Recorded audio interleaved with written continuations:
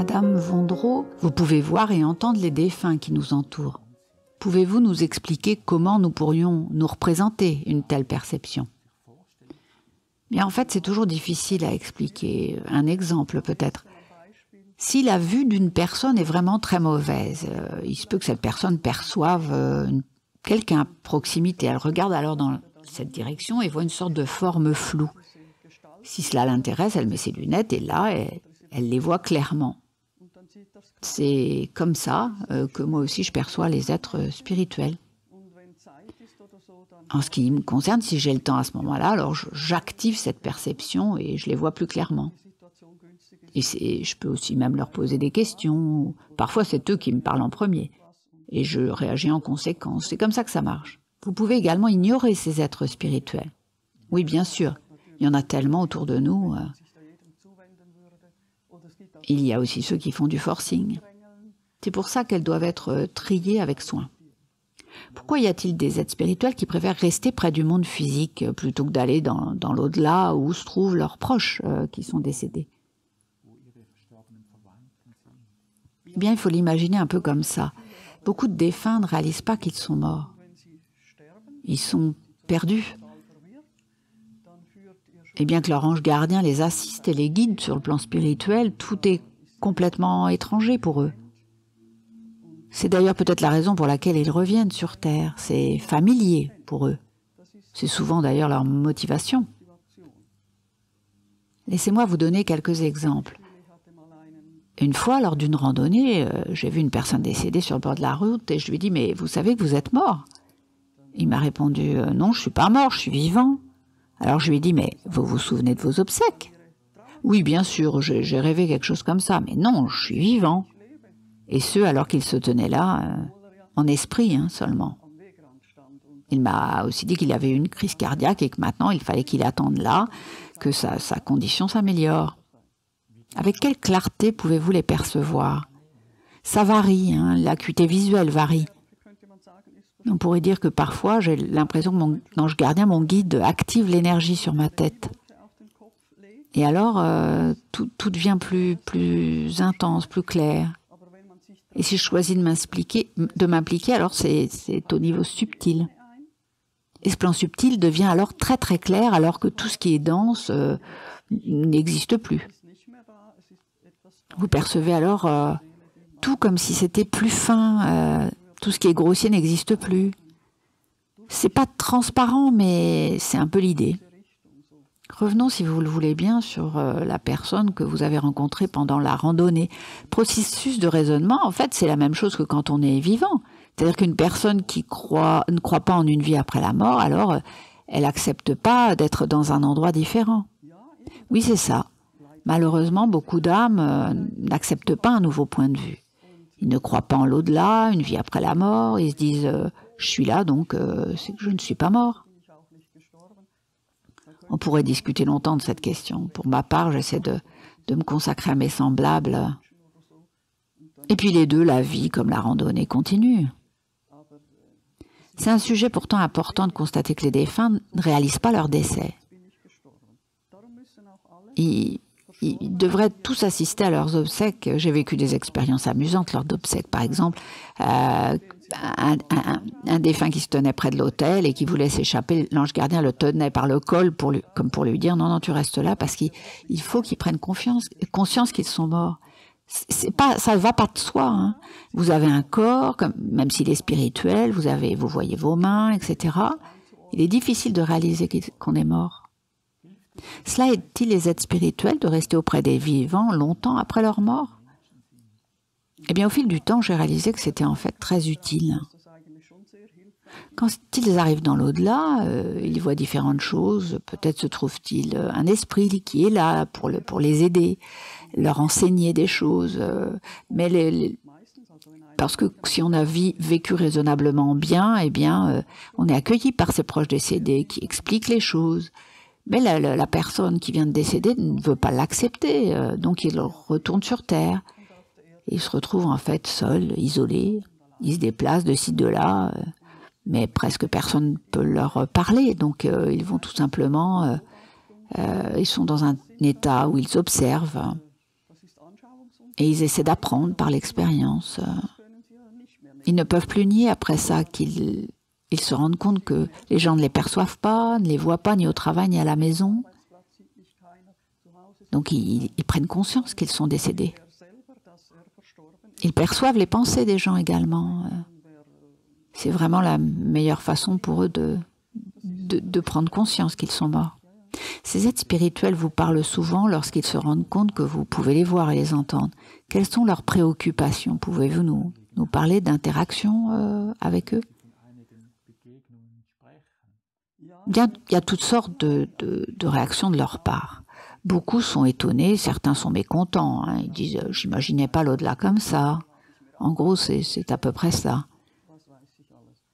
Un exemple concret, la dernière fois que j'ai parlé avec un, c'était une connaissance, et je le voyais arpenter toujours sa maison et son jardin, là où il habitait lors de son vivant.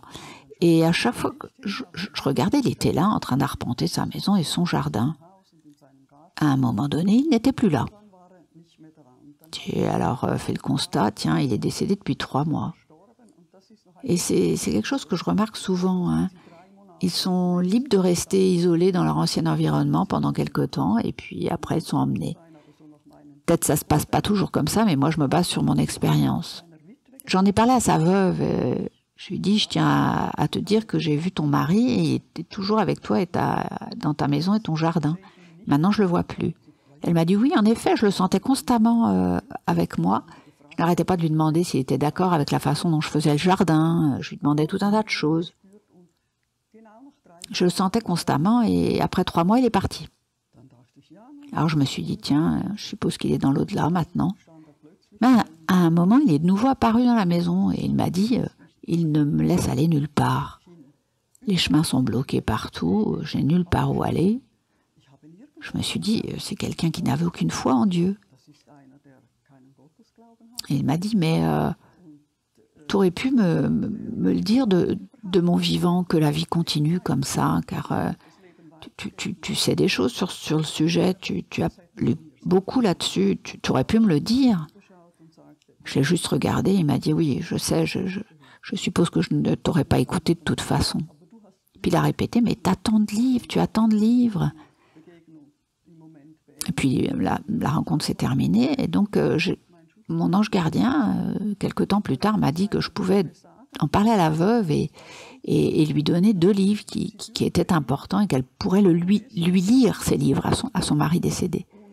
Et alors, il, pourrait appre apprendre de ces livres et, et euh, ainsi euh, poursuivre son chemin.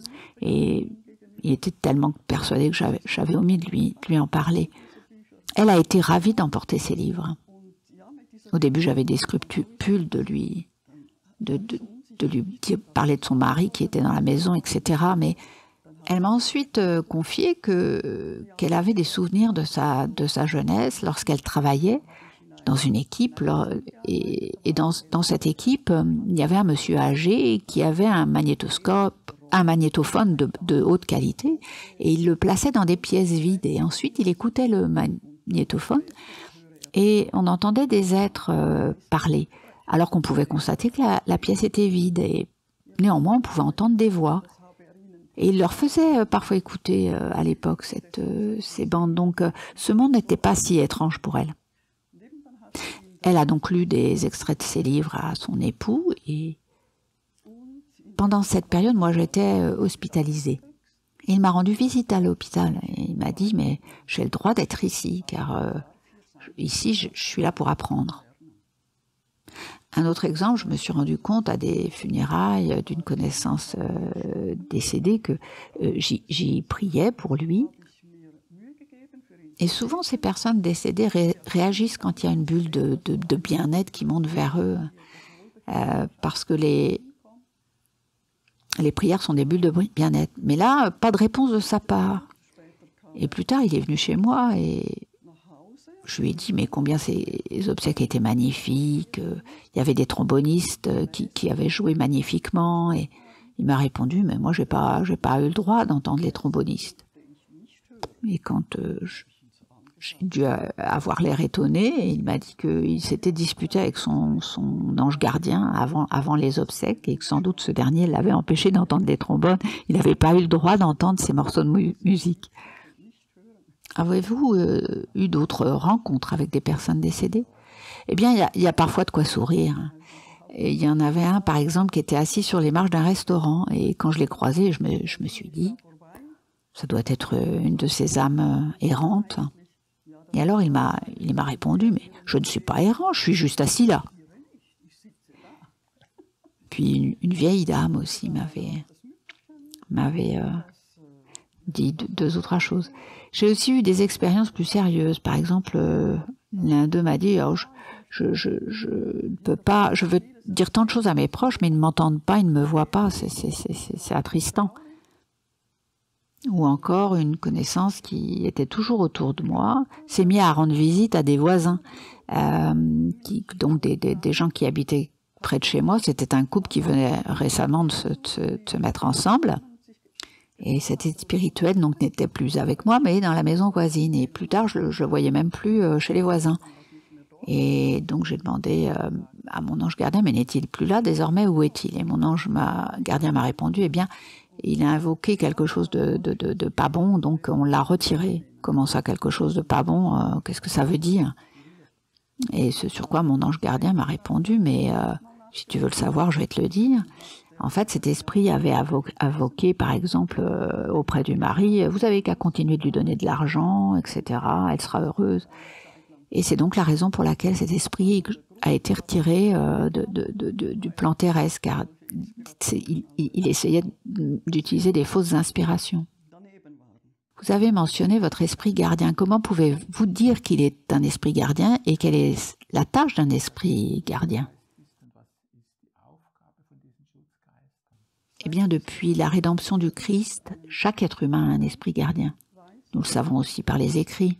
Cet ange gardien est là pour nous guider, nous accompagner, nous protéger. Il peut aussi nous inspirer.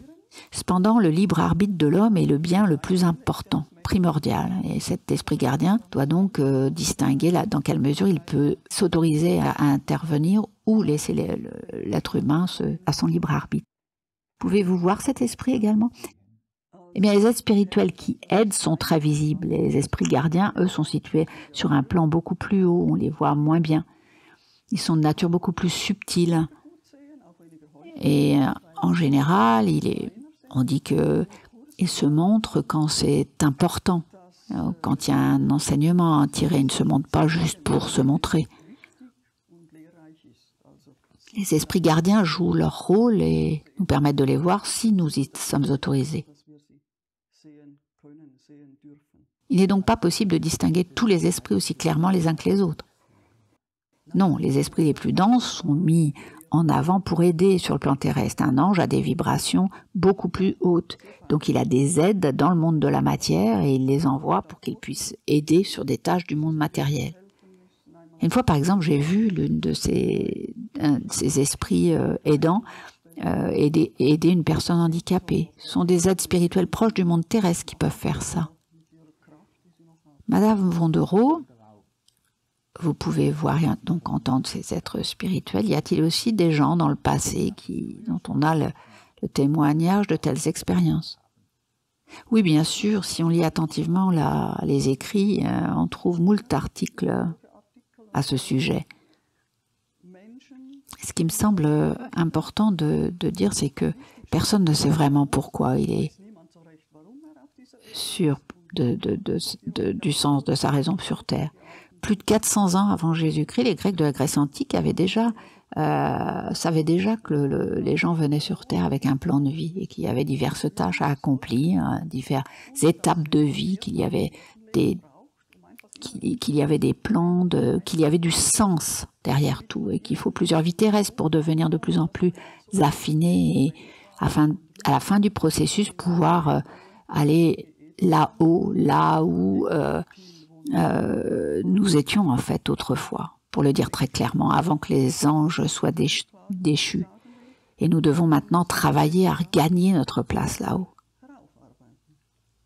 Vous avez intitulé votre livre Pour quelles raisons sommes-nous ici sur Terre? Quelle est votre réponse à cette question? Eh bien, euh, que nous devrions reconnaître le sens profond de la vie sur Terre et ne pas nous laisser éblouir par une carrière ou des apparences, etc. Et qu'on devrait vivre en, société, en, en s'aidant les uns les autres, euh, en aidant les gens dans le besoin.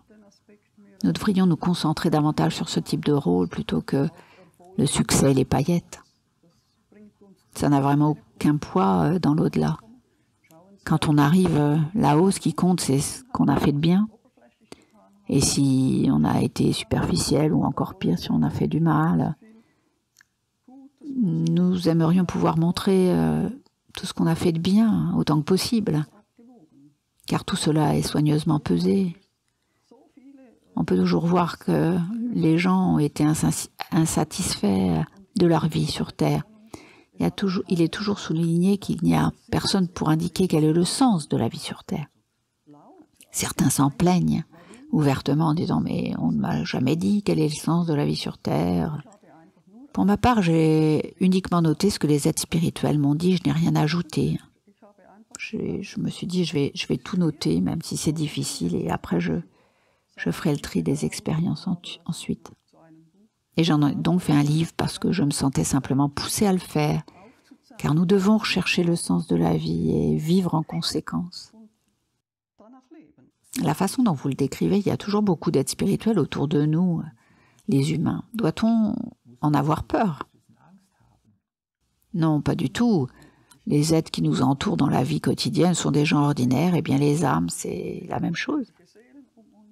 Ils sont là, ils observent. Ils peuvent aussi apprendre des, des situations dont ils sont témoins. Bien sûr, il y a des êtres euh, d'une certaine lourdeur dont il faut être, euh, se montrer prudent. On peut prier.